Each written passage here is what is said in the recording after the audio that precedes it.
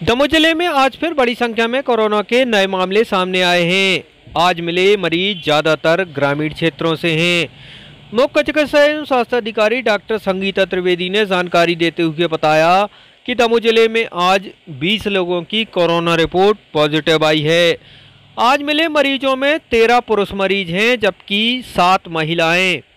आज मिले मरीजों में पटेरा से एक मागंज वार्ड एक, पलंदी दमोह से पाँच मागंज वार्ड एक दमोह से एक सिंहपुर से एक सिविल वार्ड नौ दमोह से एक, करनाकी चौरा से एक, नया बाज़ार दो दमोह से दो बजरिया वार्ड पाँच, चैनपुरा से एक, तेंदुखेड़ा से एक, रैयतवारी पथरिया से एक गांधी वार्ड हटा से एक गाना जबेरा से दो, पथरिया फाटक दमोह से एक, वहीं सिंधी कैंप दमोह से भी कोरोना का एक नया मामला सामने आया है।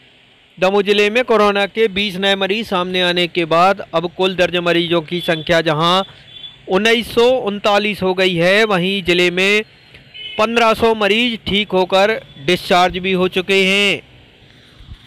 किड्स क्लिनिक, बच्चों का अस्पताल एवं टीकाकरण केंद्र, डॉक्टर रोहित जैन, मानस भवन के पास, दमोह। प्रधानमंत्री भारतीय जन औषधि केंद्र, संचालक रोटरी क्लब, दमोह।